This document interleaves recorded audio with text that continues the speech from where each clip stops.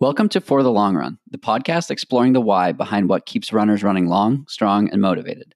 I'm your host, Jonathan Levitt. Through personal and professional connections in the running world, I have the privilege of getting to know some amazing athletes. I've always been fascinated by the psychological aspect of running, and this podcast is aimed at exploring this and much more. I hope you enjoy. Have you guys heard of Beam? I have been absolutely loving their products lately. Beam is a CBD company that's making waves in the running world by offering products that combine THC free CBD with other high quality ingredients. It was founded by two ex professional athletes with the idea that everyone should have the chance to experience what better feels like. Whether you're sore or stressed, Beam is key for recovery and self care. Try it for yourself with 15% off using the code FTLR from beamtlc.com. I recommend Beam Dream Powder or the Focus Capsules. Welcome back. I have Emily Infeld joining me on the podcast today. Emily, thanks so much for taking some time to chat. Oh, yeah. Thanks so much for having me. Of course. So, first question is always a tough one. Uh, who is Emily? oh gosh, who's Emily? Um, I I'm like looking down at my cat right now. I'm like, I'm a cat mom. She just jumped on my lap. I'm like, oh no, Boots, don't don't mess up this audio. Um, I'm a cat mom. I'm a runner. I I'm a foodie ish. I love food. Um, I feel like I'm a very passionate person. Um, I love to laugh, and I'm kind. I think those are a lot of attributes about me. I guess. awesome, and uh, and you're a pretty speedy runner as well, right? Oh, yep, yeah. That's that should have been my first thing, but I looked down at my cat and I'm like, that's my first thing. nice. Um, I don't know what's going on with the podcast this week in cats, but yesterday I, I had a I did a podcast with uh, with a friend named Karis, and her cat uh, Toulouse uh, spent a couple of minutes on her head during oh, no. the podcast so I was like, I was like, you do what you got to do, cat, but please just don't make any noise. yeah. Oh my gosh, they're always. I feel like they know when they're like, oh wait, you're doing something. It's like they're hiding all day, and it's like, oh hey, you're here doing something. Like pay attention to me. I'm like, what the heck? yeah. So, so, so I used to be a cat person, then I became a dog person, and now my my opinion on cats is that they're just they're out to get us. So really? it's uh it's it's very much they're oh, no. they're waiting for their their time to to uh to um be front and center. So here we go. Yeah. well anyway, um not to dive too much into making this a cat podcast, but yeah. um, since it is a since it is a running podcast, I guess in theory, um, let's let's start from there. Um, so, do you remember your first run? Oh my gosh, my first run. I don't know. I do. It's uh, when I was younger, my parents always said they were like, you were super easy baby, like you slept forever and ever. But I think once I got to walking, they were like, we paid for it later because it was my mom was like, I would hear the screen door and I would just be like sprinting down the street like as soon as I was able to. And she was like, you made up for all those times when when you slept through the night when you were three years old and just like running out the door. Um, so I don't know if that counts, but that's I don't really remember that but that's memory from my parents just saying that I don't know if that was me loving running or me just being a bad kid, um, but a combination of both. or getting getting out a lot of energy as a as a toddler. Yes yeah, I think that's that definitely was what probably what it was. Uh, but I did do almost every sport growing up, and I just remember hating anything hand-eye coordinated, and I loved running. Like I just that was the only aspect of every sport I did that I liked. I wasn't good at anything else, um, and then I was super excited when I'm like, oh wait, I can do this as a sport. Like, cool, sign me up. This sounds great. so at, at, what point did that happen where you decided that this is something you wanted to do and and you know it was more than just uh, unlocking the door and running down the street? Yeah when i was in grade school like super young we had um, cyo which i don't know if that's everywhere uh, but i think most states have it. And um, I think back when I was in like fourth grade, even like I was probably 10 years old and could do cross country and track, and I would do summer track. Um, and my parents were just adamant they wanted us to be active and be out of the house. So I would do basketball and I played softball and I swam and did tennis as well. Um, so we were just kind of doing, which now looking back, I'm like, they were having to shuttle us around for all these activities. I'm like, how the heck were they doing that? um, but I, I feel like that's when I really, I did track. Um, I actually started doing race walking in, I think when I was 10 to go to the AAU nationals. Um, I think I ran the 1500 and I don't know if I just didn't run well or what happened, but I didn't make the team. And um, I was like, there's still the race walk. Like I can try that. So I did that. And that was my first introduction to I guess like real competitive um, track and field. And then um, from there, I feel like I just, I, loved CYO. I loved the competition aspect of it. I loved pushing myself, trying to better my time every week. Um, and that's, I think, still what I love right now about the sport and about running. Very cool. So, in between then and now, where you're running for one of the top teams in the country, what did that evolution look like for you? I think that a lot of people enjoy hearing the the behind the scenes or like the the steps to get to where somebody is today. I think that um, a lot of running media focuses on like the here and the now, and I like to dive more into the story of like how did you get here? And I find this to be um, hearing it from pros. I find it to be much more relatable to a runner like myself or many of the people who who are listening to this podcast um, we might not be able to run as fast as you but we can we can do things in a similar process or a similar approach to um, the mental side of running. So I, I, find this component very interesting. So long way to say um, what what did those years in between signing up for you know those first few races and seasons um, to now look like from an evolutionary standpoint? Yeah. Um, so I, I mean, in grade school, I feel like did lots of different sports, and I would do um, road races and that kind of thing over the summer, which I loved. I'm like, that was something me and my dad did together, and I feel like that was one of the first, I don't know, more competitive. Like I remember doing a race and I did a 5K and I think I won like $200 and I was in like sixth grade and that was like the most money I could ever think of. A lot and of money my, as a yeah, sixth grader. Which was like a lot, but then my dad was like, you can't take, you can't accept that because I, he like was worried about some rules. So I was so sad and I remember having to give it back and I was like, I was like, I can't, but it was like for a charity and I'm like, I'll donate this to whatever the charity, the foundation. And everyone was like, what a great kid. But meanwhile, like I was begrudgingly doing it. My dad just like told me I, I had to do it. Um, so I'm like, oh man, I was looking like a really nice person, but really I was like, oh, I wanted to buy myself something or a bag or I don't know, something silly. Um, but I feel like that was the first probably introduction that I'm like, oh, you could win money when you do this.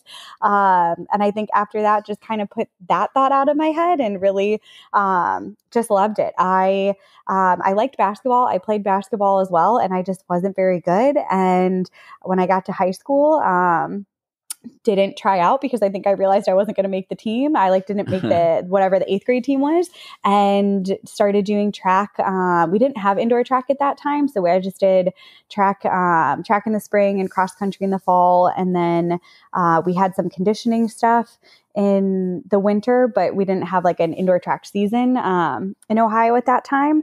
And I just, I loved my team. My coach in high school, Coach Emery, was so passionate and just um, really enthusiastic. And I feel like he really um, owned in on um, that passion that I felt for running. And I was like, so excited about it, so excited to train, so excited to push myself. Um, I just remember racing. I feel like in high school racing and throwing up after races because I just ran as hard as I could.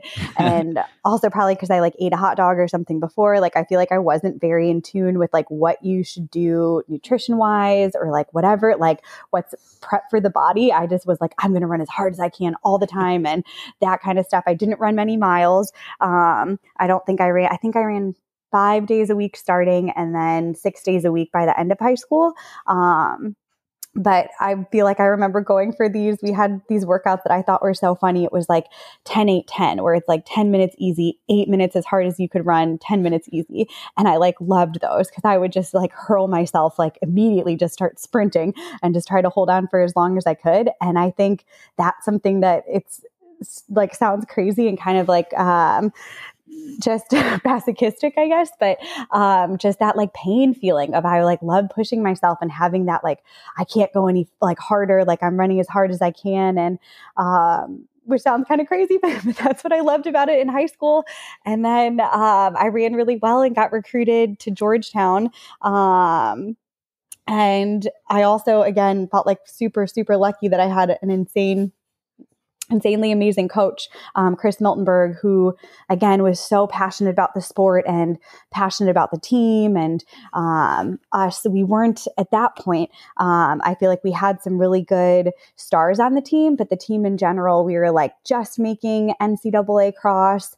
Um, but he was like, "We're gonna win. Like we can do this." And by my senior year, we ended up winning NCAA cross. And I think having someone like that who had so much belief and uh, belief in the team, belief in me and as an individual um, in high school and in college just really made me believe in myself. And I uh, felt like there were no limits. Like I just wanted to keep getting better and better and better. Um, and I also was lucky that I had no injuries in high school and college. Um, like I just got to train, I got to keep working, keep improving, and I pretty much had a solid trajectory um, of improving kind of every year, of working my way up in NCAA's. I had um, I finished second um, in cross, um, second in the 1500, second in the 5K. I won the indoor 3K.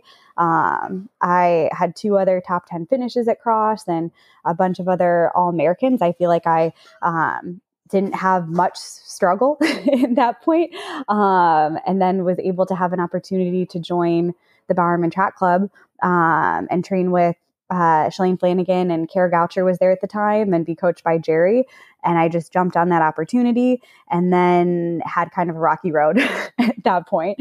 Um, and I, I do, I mean, I think it's, it's hard. I'm so thankful for, for my coaches in high school and college. And, um, I think I probably was a little undertrained, which was definitely good for me at that. And I think, kept me excited and passionate and, and continuing to go, go, go. And then getting thrown into this program that was um, way harder than I've ever worked before and made me realize too that like I have to pay attention to the little things. Like I, and now I'm at the point where I'm 30 and I'm like, man, I remember those days when I could just roll out of bed and run. And I'm like, I'll never be able to do that again. um, and that's okay. Um, but I, I feel like I had a really a nice kind of transition into running my high school, college, and then uh, have had a lot of ups and downs. And kind of now I'm like, oh yeah, that love hate relationship is real because I, I still love it a lot, but there are some days where I hate it, and especially through injuries and all that, where it's um, yeah, not as easy. So very long winded answer to your question. There's a lot to unpack there. Yes. um, so what I loved about that answer is the it sounds like the like your reason for running has been consistent. It's it's the like how good can I get and what can I get out of myself? I've I've started asking um, a question about success and and I want to ask you first. I want to ask you first what you what you define success as and then I want to explain why I ans- have started asking this question. So first, what does success mean to you? Oh man, I mean success for me um Oh, it's hard. I mean, in terms of running, um, I mean, I feel like success I've come to find, I think I've kind of changed what I would have defined it as earlier on. I feel like early on, I'd be like, it's all about winning and running fast and breaking records, which I do think is a big part of success. But I think too now, just having a lot of rough days and rough years and big layoffs from the sport, I think success is continuing to plug away and put one foot in front of the other and um, just be the best self that you can be, whatever that is. If that's winning, if that's getting fifth, if that's getting 10th, if that's running a PR one year and then the next year running a minute slower, but training in, in a way that your body is is capable of. I think it's just um, knowing yourself and just trying to get the most out of yourself, whatever that can be. So I've asked this question probably 30 or 40 times now, and that's probably one of my favorite answers. Yeah. Um, oh. The the reason that I started asking this, I asked your teammate Karissa, yeah. and um, she said, "I don't know, like getting better, like wh- seeing how good I can get," and and she was one of the first people I asked this to, and I was like, mm, that's interesting. She's a professional athlete and she didn't say make the Olympics or win or blah, blah, blah. but it was more of the intangibles and the subjective measures of success. And I was like, hmm, I wonder if this is going to be a thing where people keep saying the same thing.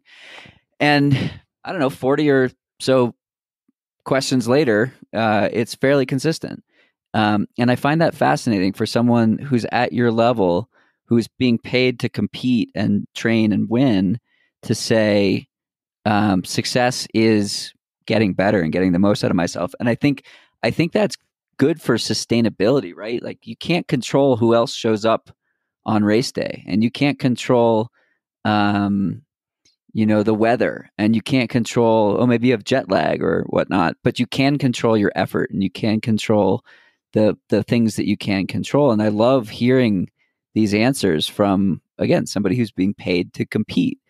Um, and I think that um, I think it's a beautiful answer, and and thank you for sharing that.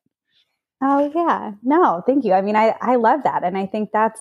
I think our sport is so cool because yes, we're all. I mean, we're all competitive. We all want to win, but I think at the same time we have to be getting the most out of ourselves and doing like at the end of the day, I'm like, I want to be my best self on that starting line and give my best effort and performance. And um, to your point, you can only control yourself and what you can control, and you can't control anyone else. So I'm like, you can't just look at, I mean, there's only one winner in every single race. So I'm like, if you're not that person, right. I don't think you can look at it and say, like, I failed or I'm a failure in this or that. I think you have to look at yourself and give yourself credit because we all work really, really hard. And uh, yeah, you never know on any given day, which is what's exciting about our sport. I think it's cool. I'm like, there's, you could look on paper and say, this person's going to win, this person's going to get second, but you never know. Definitely. The other piece I think that's interesting um, when that's your perspective is the relatability aspect and the connection that you can potentially have with your fans, right? They can't run as fast as you can, but they can still put in the work just like you can. And they can still go through the ups and downs that that you can. And so I'm wondering, given the last couple of years and and the struggles that you've had, have you felt a stronger connection to the running community lately? Yeah. Oh my gosh, I definitely have. I think I mean, the amount of messages I get about hip surgery or stress fractures or injuries in general and mental health, um, I feel like it makes me um, I mean, it makes me feel great that I'm like, these people think that I'm someone who can give them advice on all these topics. Cause in my head, I'm like, I'm trying to figure it out too. Like, I don't know. Like, I'm just day by day, like trying to figure out what works for me and it's different for everyone. Um, but I love sharing my story and my struggles because I mean, you wish that no one ever got injured and that um, we were all excited about this all the time and we never had those moments of like, why am I doing this? I don't want to do this. But that's not reality. That's not life. And I think um, I've I felt really comforted by that community. And I think for me, sometimes it's silly, but I like use Instagram almost as like a therapeutic, just write out how I'm feeling and um, hope that it resonates with someone, hope that it helps anyone else who's struggling and whatnot. But also knowing that it's going to help me, just like writing it down and being like, it's okay to feel this way. It's okay that I'm not ha- like happy all the time, that I'm not every workout, I'm not crushing, I'm not PRing in every single race um, because that's not realistic. And I think owning that and saying like that's okay. Uh, will set yourself up i think for more success and to just be happier along the way opposed to thinking like if i'm not if if i have a bad workout i'm a bad person or i'm not a good athlete or whatnot because it's bound to happen. And i think being able to bounce back from that and to be like it's okay um, your life isn't over or even like getting surgery for me, which was really, really hard. And I'm, I'm still dealing with it a lot. I think having other people who are like, I, I was told I needed to get this surgery and I just, I didn't want to do it. I felt like I was never going to run again, but I have confidence now that if this is what I need to do, like I'm going to do it and I know I can get back.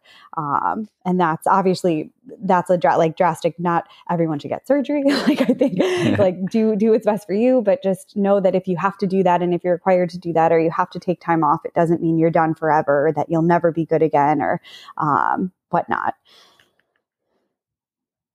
Yeah, I think that's spot on. The the fact that like running is the best teacher of life. It's like life in in a yeah like microcosm where you have good days, you have bad days, but one isn't really possible without the other. Without the without the bad days, the good days aren't as good, right? Oh yeah. 100%. I, I also love I love the part about you using Instagram as sort of like a diary or a therapeutic tool. Um, I do the same thing, and it's it's weird because it's like you're you're pouring yourself out to you know thousands of people, and like I I've posted things on there, and my parents have been like, uh you want to talk about this and, and it's just like it's like easier to share it and send it into the void to you know 10,000 people um than you know to have a conversation sometimes and and sometimes a conversation is necessary but other times it's just like you need to get something off your chest yeah hit send yeah I do. I mean, I do love social media. There are certain aspects I think that I struggle with. And I, I mean, definitely in injury phases where I haven't been running as much, I've had detoxes from it because I just felt like it wasn't productive for me at that point, which I think is also totally fine. But I do think there's, I think there's a lot of good out there. And I think if it helps, like, I'm like, this helps me. And if it helps someone else along the way, that's like a double win. Um, and if it resonates with one person, then I feel like, uh, like that's amazing. Um, and I think it's, yeah, I mean, I love that. I like that you do that too, because I, I think there is so much good that can be gained from it um, still. Definitely. And the, the connection and ability to help is huge. Um, so I posted, you know, a call for questions and I got a lot of questions from your, from your fans and followers and um, some of my own followers as well. Um, so we'll di- maybe we'll dive into some of those. Uh, but it, it, but it was all around it was less about tell me about your favorite workout and more about um, help me and help me understand how to navigate the injury cycle and help me understand um, how to stay mentally strong. And and it was really cool to to see the type of responses um, for a very simple question. So let's first dive into a question um, my friend jenny had a very similar injury to you um, and so she's really enjoyed following your story and seeing your comeback um, these last few weeks and months. And so her question was um, talk about the support you felt from your coaches and teammates and the running community in in the in the recovery process. Yeah, I mean, I I feel really lucky. I feel like I have a, a fabulous network. Um, around me. And I think that's something too that reaching out to fellow runners, like to my teammates and coaches, um, and having Shalane, who's been through a lot, is so amazing and so helpful. I feel like she just has the athlete perspective, the coach perspective, and she's not, I mean, really not far removed from the athletic being coached by Jerry, which is I think just an amazing addition to our team in general. Um, and I'm so thankful for her um, and for everything she does for us. Uh, but then I think the community just, um, I think knowing you're not alone is really, really big. And knowing that you're not the only person going through this, I think that has been helpful for me. I think at times when we're injured, sometimes it, it feels like you're the only person dealing with this and everyone else is healthy and um, this or that when that's not the case. Um, and I, a lot of my teammates have had setbacks and have had injuries and have had layoffs and that kind of thing as well. And I think having someone who, who knows that and feels that and knows the struggle is really really helpful and I think the best kind of support because someone who um, who's been through it and they know it sucks. Um, and I think it makes it a little easier just to know you're not alone. Um, and also that people love you in general, regardless. I think earlier on, I placed so much of I think my own identity in running. And then when I wasn't running, I'm like, I have nothing. Like, this is what I have. And that's not true. And I think knowing that and knowing that, yes, like I, I have this connection with all these runners and a lot of my friends on like outside the team, on the team, um, in general, are, are runners, are athletes. Um, but that's not the only reason why they like me. Um, and I have a lot else to give. I think that was really helpful for me instead of just saying like this is yeah this is a thing and now i can't do it and and that's it. How um, did you how did you get there? How did you make that transition? Oh man. I mean i also think it's a constant process. I'm saying that now. I feel like it's i have i have days i have moments where it's a lot lot harder. Um, but i also i mean my fiance keeps me grounded and he's so wonderful. Um, i feel like he's my biggest support number one fan. Um, but having him has been amazing. Um, I also, I mean, I was having like a little post Olympic kind of slump and I got my cat and I feel like I needed that. Like I needed to take care of something else. And that has been amazing. And I like, she's sitting on my lap right now and just, it is, I feel like it's so funny, but pets like having that, like something else to take care of or to put your focus on, that was really helpful for me. Um, and I, I think it's just something as I as I get older and um, I have to almost remind myself that as well. I think talking to myself in a nicer way, um, opposed to like, I'm injured again, like I'm terrible, I'm this or that, like whatever. I'm like, I'm going to focus on my energy on something else. If I can't run for X amount of time, I don't need to keep dwelling on it and dwelling on how far behind I am or whatever else is like a, a not positive thought to myself. Like instead, I'm going to look at other aspects. Like, um, I mean, in quarantine, I think it was so funny that like sourdough bread making thing was a huge trend, and I totally jumped on that. I'm like, well, like I need something else to focus my energy on. I'm like, this took me so long. Like I'm terrible. I made so many loaves that were like a disaster, um, and it was a process. It's but it was bread. How can it be a disaster? Oh my gosh. I well, I one I made one loaf that looked so beautiful and then we cut into it and I forgot to put salt in it and it tasted terrible. It was like tasted like nothing. And Max is like, I don't understand. Like how what did you do? I'm like, I think I just forgot to add salt, but I guess that salt's really important because this tastes terrible. Um, uh, yeah, but I mean basically I think I, I don't feel like I have it together all the time, but I think I'm I'm learning more and I'm trying to be kinder to myself. Um, which has has been helpful and better. And and I feel lucky to have the, the support I do of my teammates and um, my fiance, and then um, the running community. So I'm like, whenever anyone sends me a message, Max always he's like, you don't need to respond to everyone, but I really want to. And I'm like, I'm not, I hmm. don't respond super timely, but I really try to respond to everyone because. I just think I'm like, if that person is really struggling and they feel like they don't have anyone right now and they can relate to me in some way, um, and I can be of help, then that will be amazing. Because there's been times when I just didn't want to reach out to anyone and I felt like I was going to be a burden. And that just left me in a darker place. And I think reaching out to those around you who love and care about you and support you, like you're not a burden. They want to help you and you'll be there to help them if they need help. And I think knowing that um, has also been really, really crucial to me in kind of maintaining um, happiness in in my injury recovery and um, just kind of layoffs from the sport. I love that. Thanks again to Beam for sponsoring this episode of the podcast. I take their Dream Powder most nights before bed. Dream contains magnesium, a small amount of melatonin, and broad spectrum nano CBD, and always leads to a refreshing night's sleep. I'm also a big fan of their focus capsules for during the day, containing many of the nutrients that I know my body needs, such as ashwagandha, CoQ10, as well as CBD.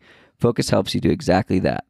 Visit beamtlc.com and use the code FTLR for 15% off and let me know what you think. And now, back to our conversation. Did you find that when when you had to take time off and then you came back that there was a like renewed sense of passion and fire that you might not have had before? Yeah, I mean it's it's so funny. I do think the sport ebbs and flows so much in the training ebbs and flows that when like this summer I got hurt, I had a stress fracture in my hip and I missed the whole summer training. Everyone went to Park City and um, did like I, I'm I was taking time off and then um, ended up going back to Park City with Kate Grace in August, and um, and Aisha came, and we were like training there for probably a month, and I just felt so invigorated and excited to run. And I wasn't like I was just building my mileage, but just like being like, my hip doesn't hurt and like everything's beautiful. Like we were like looking at the animals and I was just like, I, I love everything. like it's just like that excited of being like, I'm able to do this again. Like a child. And, yeah. Yes. Yeah, it's so funny. But I think I'm like, this is why I love it. And I mean, then I get into hard workouts and I have those days of being exhausted. I'm like, I hate this. Like my bot, like my body is like not cooperating and, and whatnot. But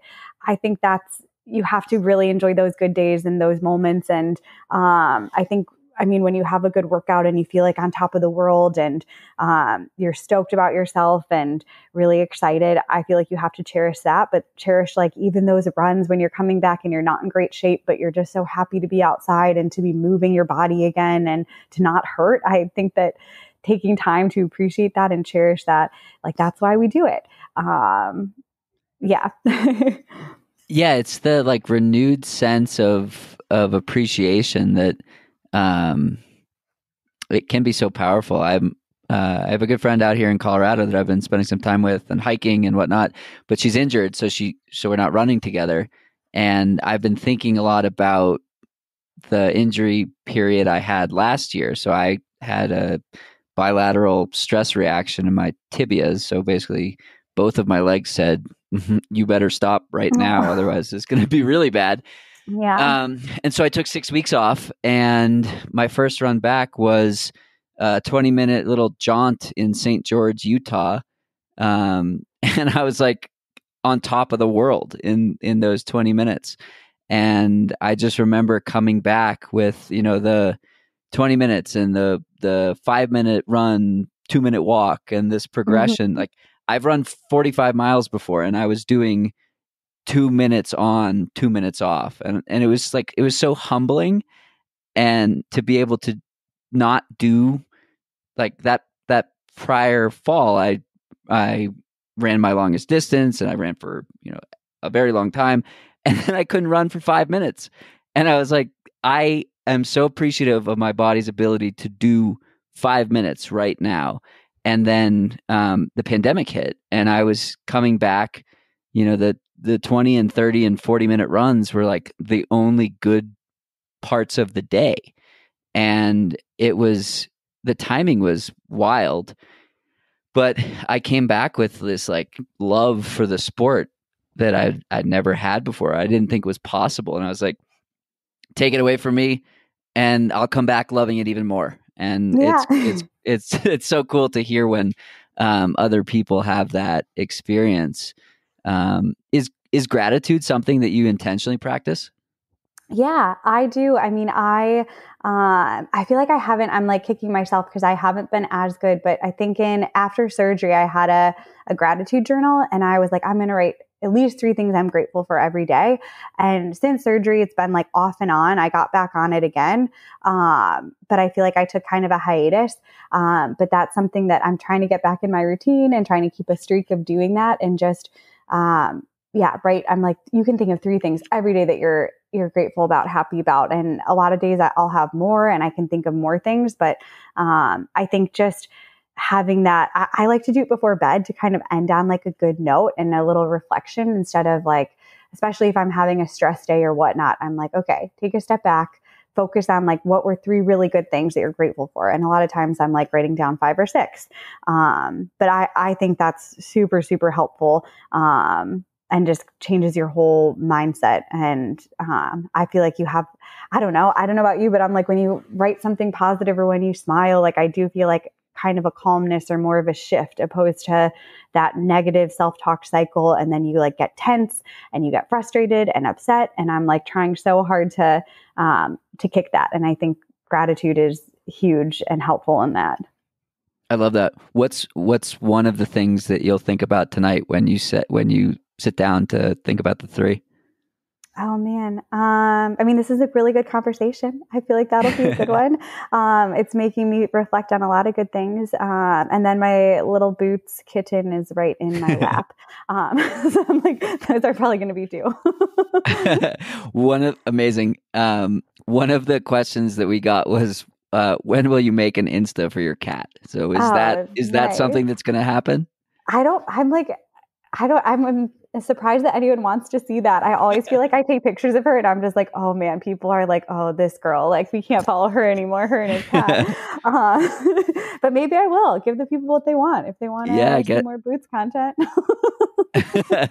I guess so. Um, did you run today? Yes.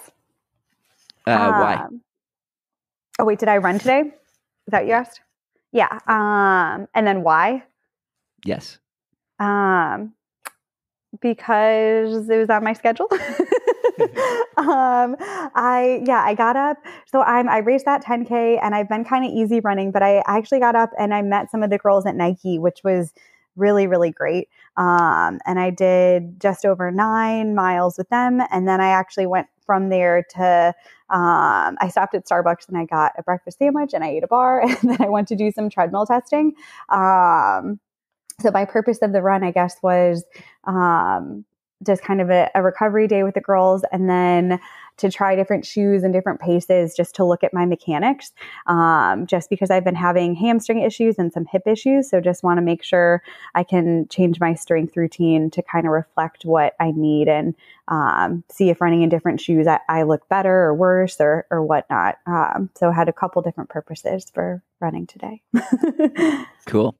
Um, do you think your why has changed or how has your why changed over the last couple of years?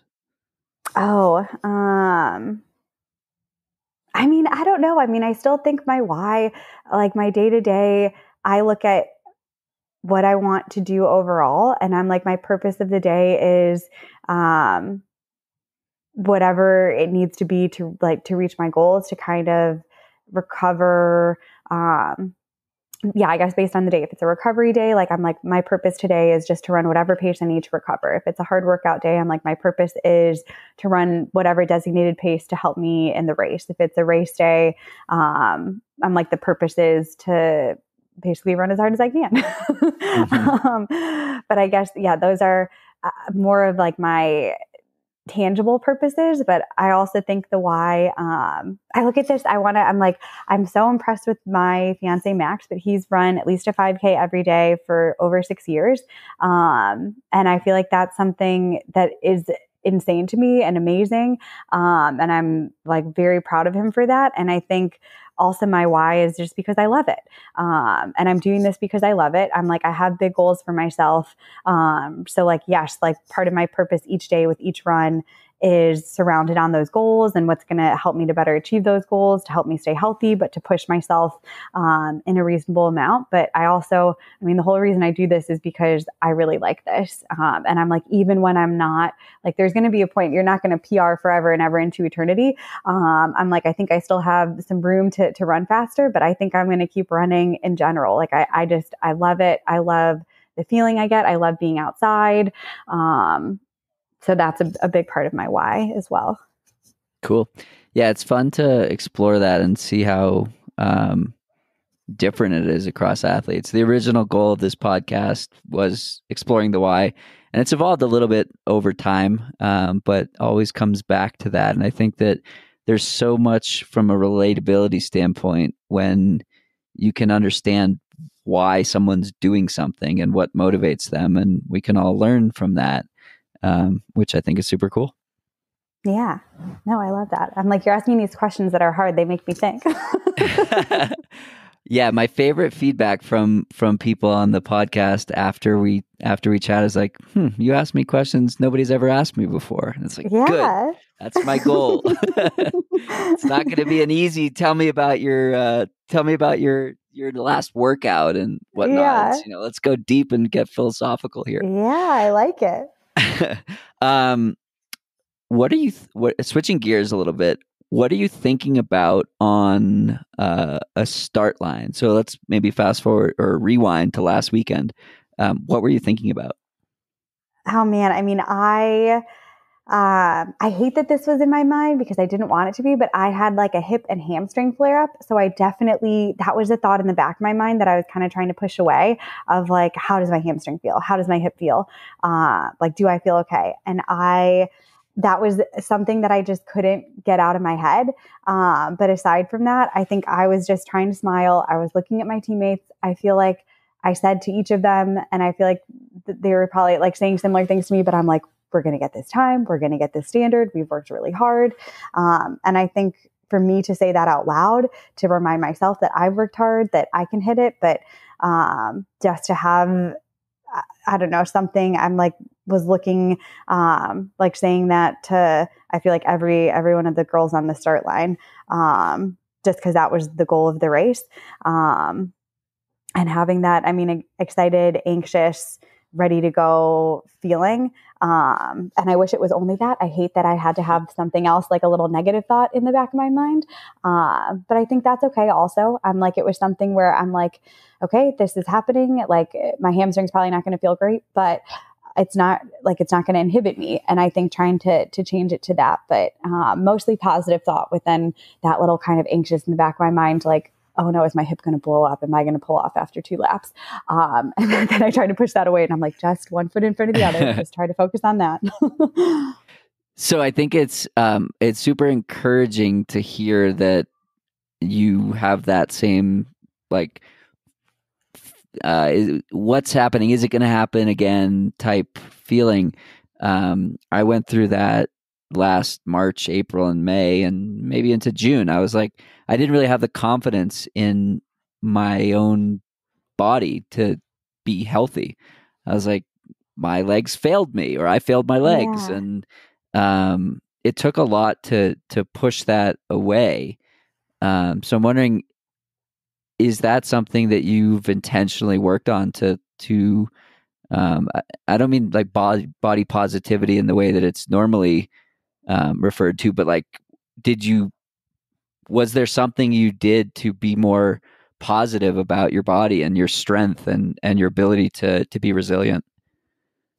Yeah, I mean, I think for me, I it's funny. I'm like, I don't want Jerry says, I feel like Jerry said this to me once, and I'm like, I don't want this to be my thought, but he's like, every day when I get out of bed, I'm like a six out of 10 on a scale of 10, just like pain scale. And I'm like, well, I don't want to feel like that. Like, I don't feel like that's healthy. Like, I don't think you should be like that. I'm like, I, I don't think that's normal. Like, I think you got to take care of your body a little better.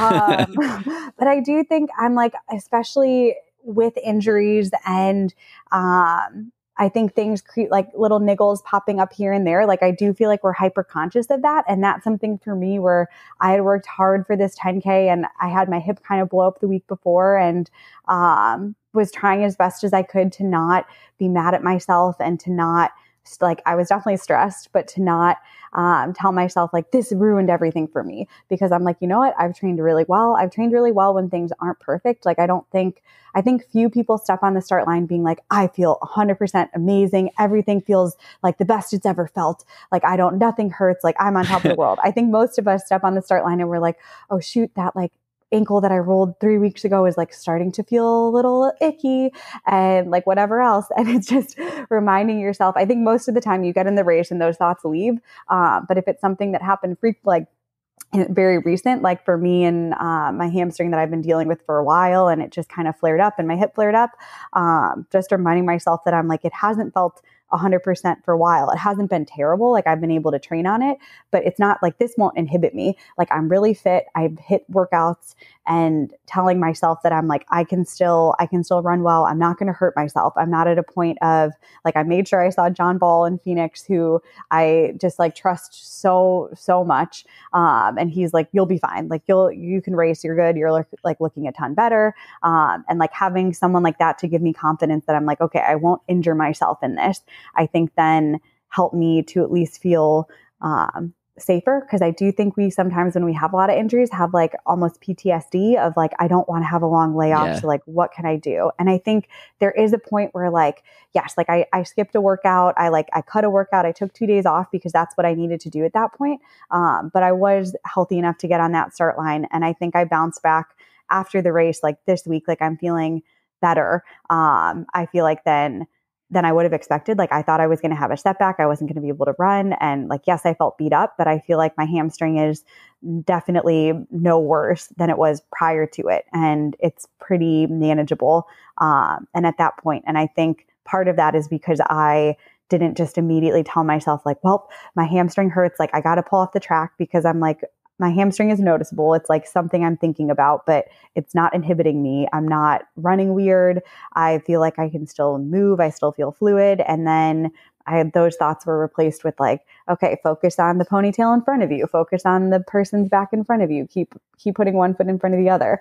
Um, and I think talking to myself in that way and, and realizing that like yes there are normal aches and pains of training um, and things that you can get through and manage well but there are things when you really have to back off and kind of trying to decipher that which I'm definitely not perfect with um, but i think it's I think it's a slippery slope to like every time you feel an ache and pain to be like, I have to take a day off. Um, but then at the same time, to not push through everything and have like, oh, this pain that's getting getting progressively worse every single day. And then all of a sudden it's like three months down the road and you have a big injury and you're like, I don't get how that happened. And then you're like, oh, because it was every day I was feeling a little bit worse. Um, no wonder this happened. um, yeah. yes. I think, uh, yeah, it all makes sense. I think that um, the gratitude component can also be strong. I saw Shalane's Shalane posted a couple years ago um, a post. It basically just said "Thank you, legs," and yeah. um, so in the fall of 2019, I ran rim to rim to rim across the Grand Canyon, and this was like wildly out of my comfort zone, and I was so like not sure of if I could do it. Um, but the alternative was a ten thousand dollar helicopter ride out of there. So it's one of those yeah. things where it's like like you're gonna do it. Otherwise, it's like not really an option. And I just remember going into it with this like appreciation for like what my body was physically able to do, even just to get me to the the top yeah. of that um, of that day. And so I think that like acknowledging the work you've put in and the strength that you have um, is is super helpful. My coach um, David Roche uh, talks about this all the time, um, and he helped me get through this personally when I was like, "No, I'm injured again." He's like, "You're not injured again. You took the time off. You rested. You know, this is your brain trying to protect you. You know, being overly cautious." So I think that the acknowledgement of like you've done the work um, now you're ready is is super powerful yeah. Oh my gosh. Uh, I think 100%. And I love that. I like that you brought up that post of Shalane because I do think I'm like, we have to, I feel like telling our bodies how thankful we are and like thankful that you can recover. And that I'm like, that's something that's so cool. It's like you can have something happen where you feel so bad and you really hurt something and then your body can mend itself and then it can get back and you can push it again. Um, it's pretty cool. We are very resilient people. Yes. Um, on that on that topic, um, you've mentioned mental health a couple of times. Um, this is something I love talking about. I love bringing awareness to, um, and I love what seems to be a trend at this point with professional athletes talking about struggles and mental health. Um, so, has that always been a focal point for you, or is that something that maybe has been private in the past and you've been more outspoken about it uh, lately? Yeah, I mean, I think um, it's something that I have dealt with for a while and I I think it's hard. I do think there's like a stigma around it and I think something where I think for a bit it made me feel like I'm not strong enough, like I'm like a weak person, I'm a weak-minded person and that's not what it is and I hate that rhetoric and I hate that that's what I thought. Um, and why I was like almost ashamed to say like I've had struggles, like I've um, had to go on antidepressants for a while. Like I've I've had things that were really really hard, and I've had a lot of therapy, and I've had a lot of help. Um, and I think I feel more confident now in that I'm like, this is something that's not a me thing. Like I think a lot of people can struggle with this. And I think I also think it's it's okay to struggle and and it's different for each person. It's a um, I mean, like a, it's a one size fits one. It's not like a one size fits all. Right. Like I do this, you should do this. Like this is the way. But I do think being aware of it and figuring out whatever you need um, is important. Um, whether it be therapy. Um, I also don't think you have to. Um, I feel like have intensive therapy forever and ever for the rest of your life. Like I think it's something where you might need it more at certain p- points in your life. And um, I think to build a foundation to help yourself later on um, will be great. But having someone that you can talk to is is really important. And I feel like something that's crucial for me. And I go through phases of um, having therapy once a week or twice a week or once a month or every other month. Um, and I think it's whatever I need at that point, and and that's okay. It's it's whatever it is, and I feel lucky that I have people in my corner that I can reach out to. Um, but I do think I'm like this. We put a lot of um, physical stress on our bodies and toll, but I mean the the mental stress and aspect of it is huge. And I think, I mean, with this last year in COVID, I think that's something that um, was really hard on people. And I think that just not having interaction and um, whatnot and and changing that normal i think I feel like it, it, for me made me probably more more aware of um, talking about that kind of stuff just because sure. I think yeah it's it's important and I felt like I had certain struggles and with injury and whatnot and I just um, also i'm hoping to let people know that like you're not alone. It's okay. Like you're okay to feel like that. There's nothing wrong with you. And you're okay to ask for help. I'm like i think that's like the biggest thing is that like people who are like ashamed or or feel like they're broken or there's something inherently wrong with them. And it's like no you're like you're not. I love alexi in her book said how yes. it's like a scratch yes. on your brain. And i'm like that resonated with me so much. And like I just, I think it's so true. Um, and I think, I mean, her openness as well in that his like i think when you see like hear other people do it and and see it and it helps you to be able to communicate that uh, and to be more open about struggles and and whatnot because we all we all have struggles whatever they may be um, and that's okay yes I love that so much. Um, I think the only one of the few good things to come out of 2020 was the well, maybe it's not good, but one of the the benefits of this thing we all had to deal with and are all dealing with is that it exposed that everybody is dealing with something and just because somebody appears to be happy and um, you know in good spirits all the time and running really well and all this stuff like it doesn't mean that um, it doesn't mean that it's true or it doesn't mean that they're not struggling with something. And i i i, I saw a therapist basically every week in 2020 and um, I don't know how I would have made it through without it. Um, I lived alone for a while. I I moved in with my parents for five months. I was expecting it to be two weeks. It turned into five months because I was so bored and lonely uh, at home. Yeah. Um, and it's just like a shared. It's a shared experience, and we all deal with it. And I think it's great that um, it's being normalized. And even from two years ago, it's it's so different um, the way Alexi talks about it. Scott Fauble said something um, on this podcast, and I'm sure in other places too. But he said, you know, you go to a doctor if you break your leg or if you have a bruise on your whatever. Um, this is the same thing. Like this is uh, your brain is is just like any other body part, um, and it needs maintenance and and TLC. Just like you know your quads and your hamstrings and your hip flexors, which I you know neglect all the time. But um, it's it's it's just like anything else. And um, so thank you for using your platform the way that you do to talk about it, um, so that a lot of people can see that um, it's normal. Yeah. No, I mean, I think I I feel thankful for people who've been outspoken and that I've seen and has kind of helped me to not feel as as worried or as ashamed but because it is normal. And i think normalizing it and reducing the stigma around it is huge because i i mean i remember in college um, trying to talk to someone and feeling so embarrassed and then not wanting to go back because I was like, I'm not, there's nothing wrong with me. Like, I'm fine.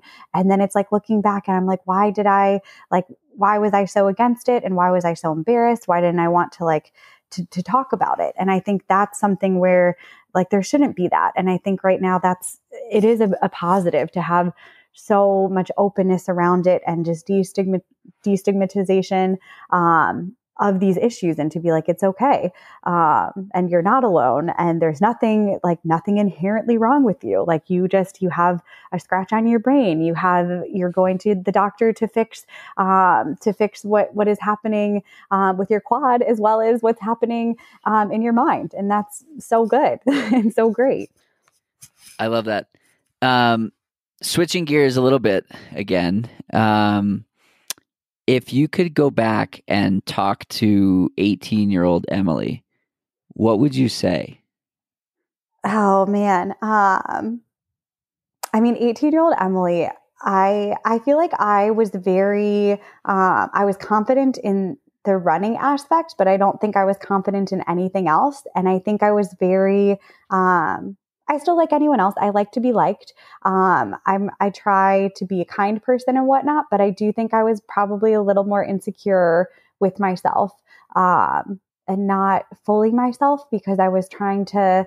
I don't know, to be whatever I thought I was supposed to be. And I think, um, as with most people, I feel like when you get older um, and you're kind of like, I am who I am, and you either like me or you don't like me. Um, and like, yes, I want to be kind and I'm not going to be mean or rude or whatever. But I think a little bit of uh, probably me trying to be like, oh, I should be this way or that way. And I think that's something that I want to be like, don't do that. Um, just be yourself and you're awesome. And probably uh, stop using self tanner because um, it doesn't look good. Curveball. yeah. like, Amazing. yeah. I don't know where to go from there.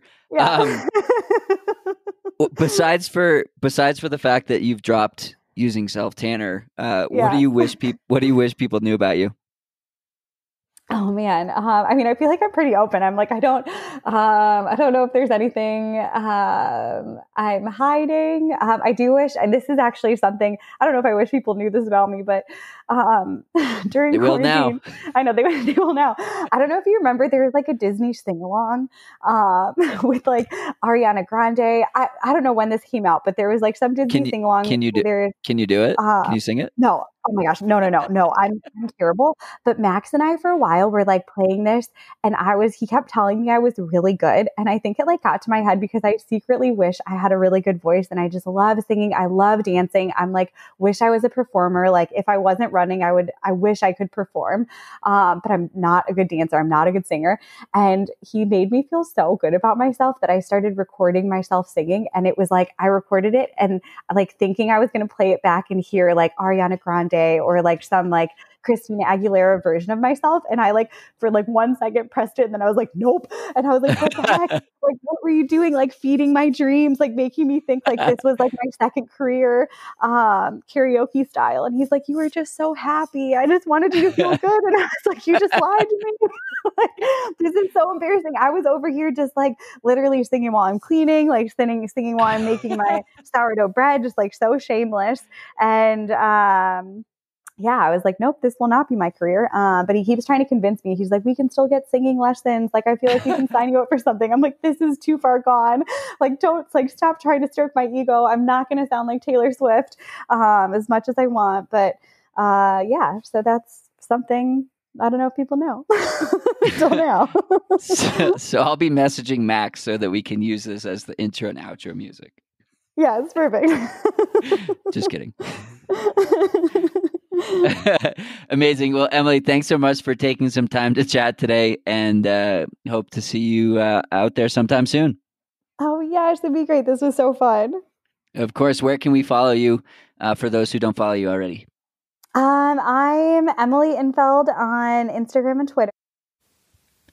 That's it for today's episode. Like many long runs, it's sad when it has to end. I hope you join in next week on For the Long Run. And in the meantime, happy trails. If you've enjoyed this episode, it would mean a lot to me if you shared it so that others can find it and enjoy it too.